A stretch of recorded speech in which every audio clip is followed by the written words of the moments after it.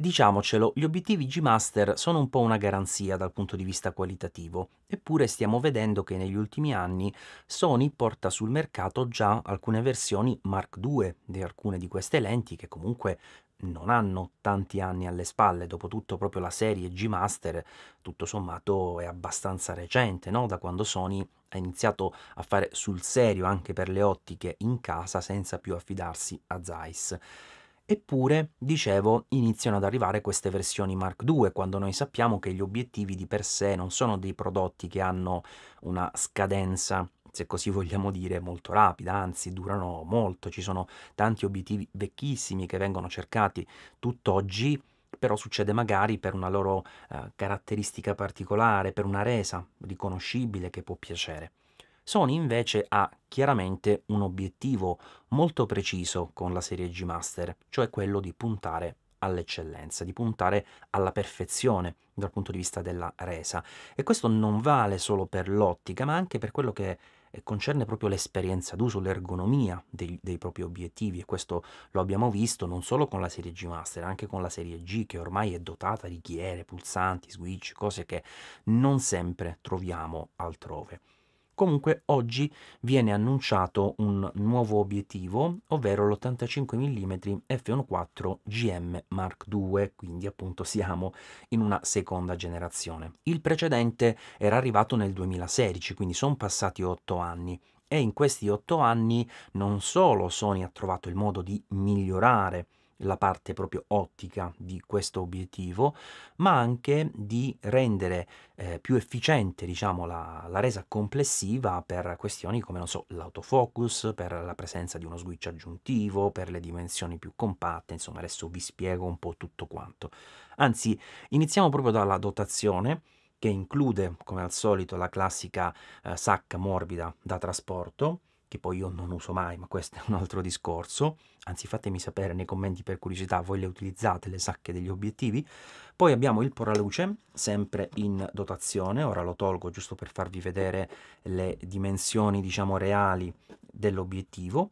e poi questo è più o meno simile al precedente, magari uno sguardo fugace potrebbe sembrare esattamente lo stesso, ma ci sono alcune caratteristiche interessanti migliorative, come ad esempio il fatto che il peso sia ridotto del 20%. Attenzione, parliamo sempre di 640 grammi circa, quindi non è certamente un obiettivo leggero di quello che usi così in scioltezza con una mano, sempre meglio lavorare con due mani, però è sicuramente più bilanciato, complice anche il fatto che il volume si è ridotto di circa il 13%. Rimangono filtri da 77 mm frontali, è un obiettivo che comunque è sempre diciamo tropicalizzato o comunque resistente a polvere ed umidità, quindi con tutte le varie guarnizioni sull'innesto, sotto le ghiere e via discorrendo. Abbiamo la ghiera di manual focus che funziona anche con andamento lineare, abbiamo ovviamente la ghiera per quanto eh, riguarda la gestione dell'apertura che va da F1,4 fino ad F16. Ora come potete notare qui non ha fatto nessuno scatto perché era attivato il click switch qui in basso che non fa altro proprio che eliminare gli scatti che ci sono tra un passaggio e l'altro, cosa che può servire in particolare, non so, per chi fa video e non vuole appunto avere eh, lo scatto sia visi visivo che anche magari che si sente nella registrazione. In aggiunta abbiamo uno switch che è l'iris lock, che quindi dà la possibilità di dire vado in A, cioè automatico diciamo, e lo blocco qui per evitare che poi si possa spostare accidentalmente. E quando siamo in A in realtà, eh, a seconda della modalità di scatto che stiamo utilizzando, l'obiettivo si può controllare anche nella sua apertura in modo manuale. Ad esempio in M possiamo impostare la rotella frontale che controlla l'apertura quindi se non vogliamo insomma agire manualmente sulla ghiera possiamo farlo in modo assolutamente tradizionale.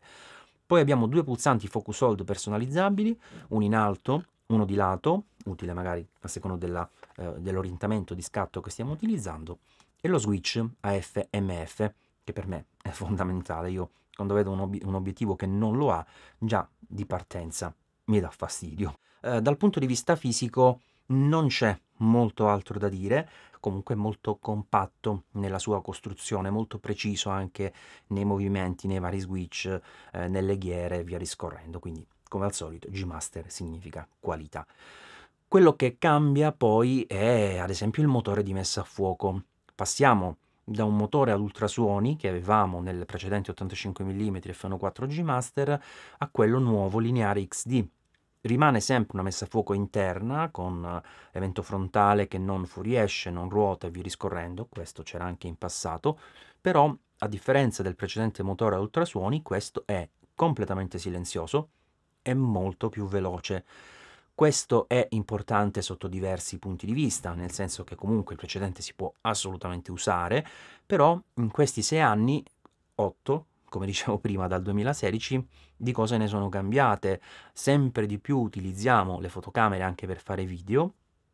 ad esempio, e quindi già il fatto di avere un motore di messa a fuoco che vada in modo lineare, quindi senza quei quegli scatti senza generare proprio nessunissimo rumore è un grande passo avanti e poi abbiamo fotocamere oggi che fanno foto come la 9.3 a 120 fotogrammi al secondo e serve un obiettivo come questo che ha in effetti la capacità di rispondere anche a quella velocità nel tracking ed ecco che abbiamo una resa che Sony dichiara essere tre volte più veloce normalmente, diciamo così, nello scatto singolo e tradizionale, col riconoscimento volti, quello che volete, ma che arriva anche ad essere sette volte più veloce nella raffica dell'inseguimento. Quindi certamente un obiettivo che dal punto di vista della messa a fuoco è proprio tutta un'altra cosa. Quello che invece praticamente non cambia da quello che ho potuto vedere è la distanza minima di messa a fuoco. Non ho il dato proprio preciso perché come al solito sto registrando questo video in anticipo rispetto a quella che è la data poi di uscita eh, con tutti i dati, schede tecniche e via discorrendo,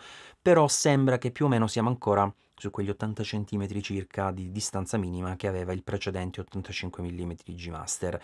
che significa avere un rapporto di ingrandimento di circa 0,12 per, insomma giù di lì, che non è tanto. Ora per carità questo nasce come obiettivo principalmente da ritratto, quindi non è che ti serva per quello, però viste le sue ottime qualità, che adesso andremo anche ad analizzare, mi sarebbe piaciuto poterlo utilizzare anche un po' come un mezzo macro, insomma, non dico un rapporto 1 a 1 per carità, ma insomma, qualcosina in più mi sarebbe sicuramente piaciuto per avere dei close-up, insomma, un pochino più eh, ravvicinati. Dal punto di vista della qualità ottica, però, veramente veramente impressionante. Qui abbiamo 15 elementi eh, in 11 gruppi con due elementi XA, due elementi ED che come al solito vanno a ridurre aberrazioni geometriche, aberrazioni eh, di ogni tipo insomma che ci sono all'interno della lente, il trattamento eh, che poi vedremo dopo per quanto riguarda flare e ghosting e insomma è un obiettivo che va ad introdurre delle migliorie anche proprio dal punto di vista della costruzione ottica e come dicevo questo si vede nei risultati perché a tutta apertura nella zona centrale del fotogramma è già veramente super super nitido. Bisogna fare fatica per notare comunque quello scatto di miglioramento che può esserci intorno ad F2 e poi sì se vogliamo a F5 forse c'è proprio la nitidezza massima ma comunque eh, è un obiettivo con una resa veramente eccellente e poi nelle zone più ad angolo del frame e dove mi ha stupito forse ancora di più perché veramente già a tutta apertura eh, la, la, quantità di informazioni che si riescono a catturare è elevatissima. Poi magari c'è un po' di morbidezza in più rispetto al centro, sì, questo è chiaro, però se voi chiudete cioè per dire a f2,2 già è virtualmente eh, perfetto, diciamo quello che vi, vi, riesce ad offrire, considerando anche poi che un 85 mm in genere, come dicevo, si utilizza per i ritratti e quindi poi le zone più esterne del fotogramma quasi sempre sono un po' sfocate, insomma, possiamo anche dirlo, però di base ha una resa veramente, veramente ottima e poi eh, si comporta anche, secondo me, in modo diverso rispetto al precedente 85 mm G Master per quanto riguarda lo sfocato. Certo,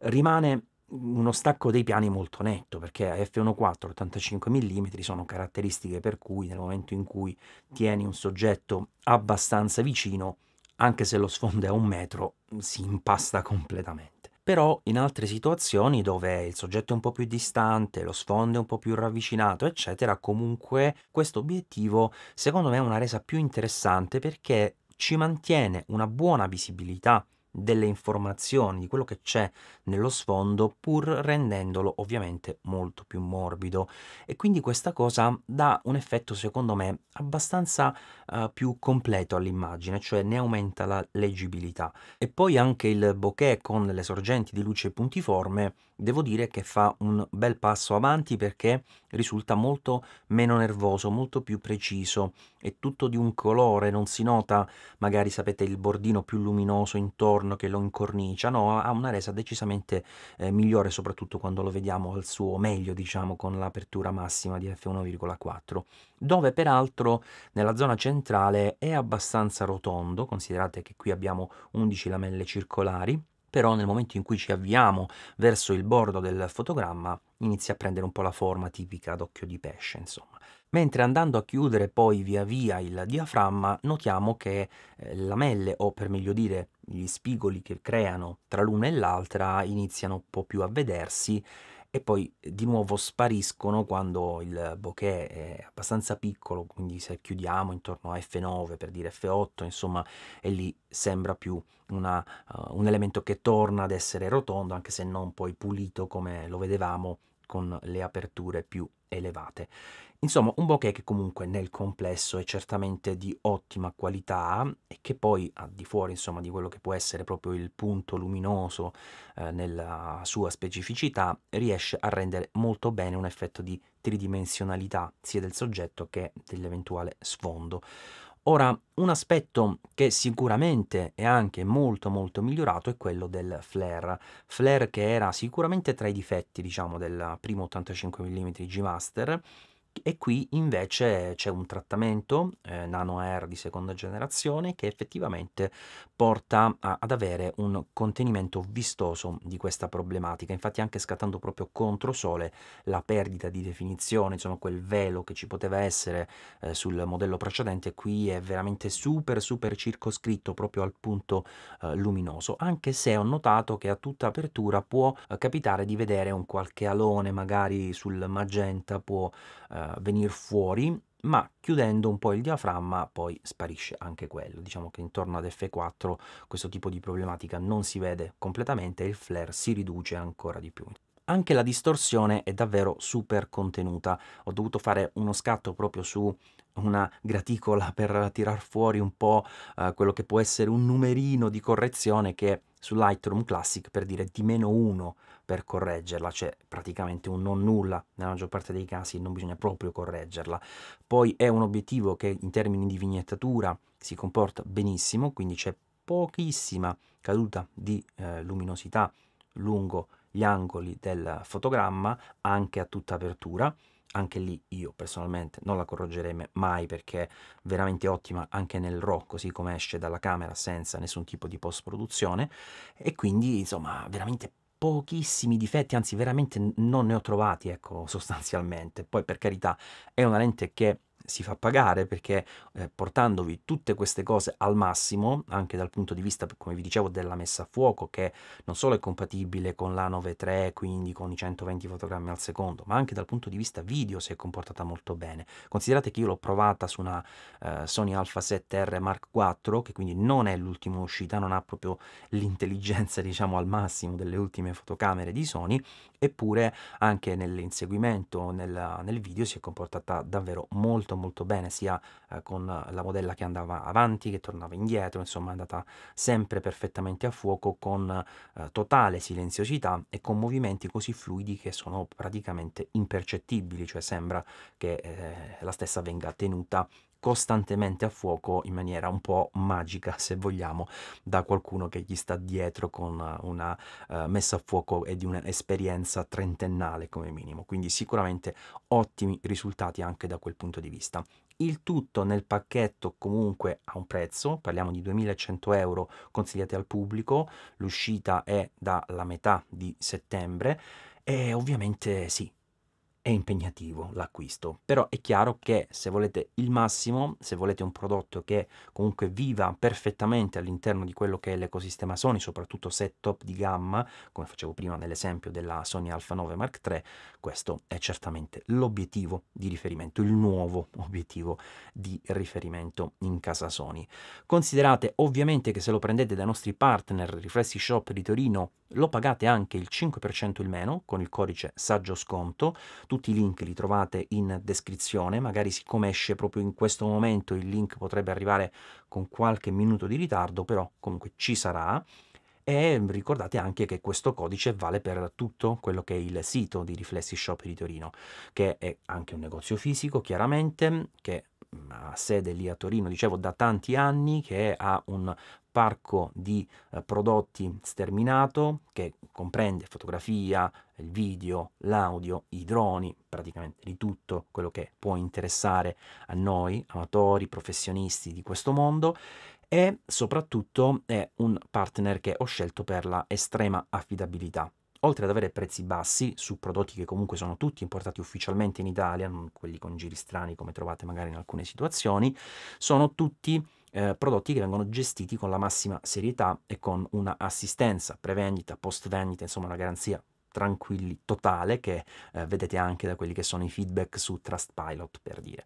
Quindi quel codice saggio sconto lo potete utilizzare su tutto il sito 5% di sconto che man mano che le cifre salgono diventa sempre sempre più interessante. Grazie a Sony per avermi dato la possibilità di provare in anteprima questo obiettivo, grazie come sempre a Riflessi Shop, grazie a voi che avete visto questo video, voglio ringraziare anche il mio amico e collega Salvatore Cosentino con cui abbiamo provato un po' la lente proprio ieri praticamente perché abbiamo avuto veramente pochissimo tempo e anche Lidia la modella che ci ha aiutato per portare a casa qualche scatto che avete sicuramente visto eh, qui e là durante la recensione. Grazie, alla prossima. Ciao!